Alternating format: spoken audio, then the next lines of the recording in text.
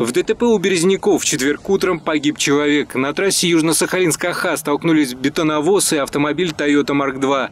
От сильного удара части кузова седана разлетелись. По предварительным данным, водитель легковой машины не справился с управлением и выехал на встречную полосу, по которой двигалась бетономешалка с грузом.